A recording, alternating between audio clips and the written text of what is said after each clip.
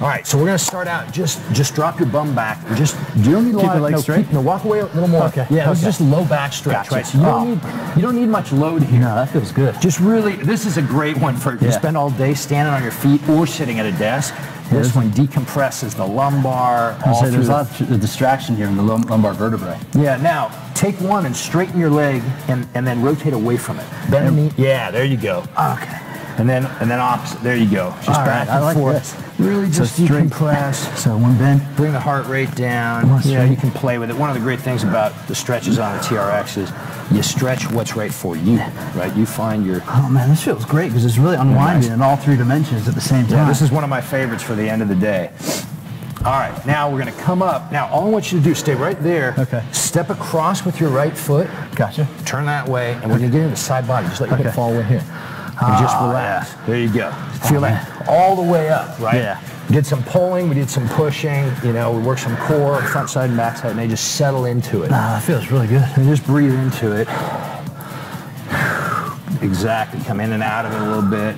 And then we'll have you swap over the other side. Left leg forward. Gotcha, thank you. Just let the right and then just let the right one fall away. There you go. Yeah. So this gets really opens up the side body.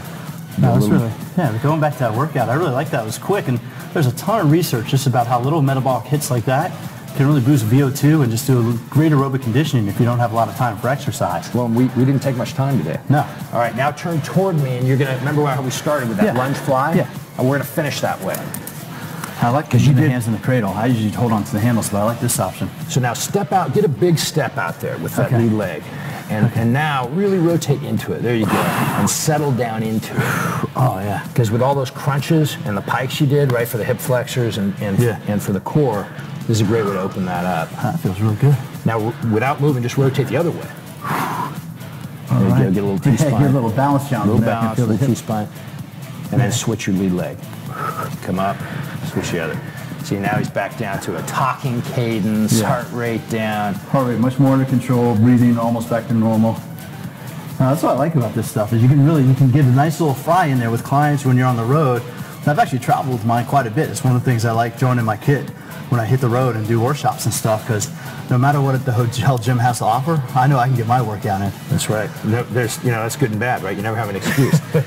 and there, and there, and there you go. There's a, I don't know what we were probably 12, maybe 12, not more than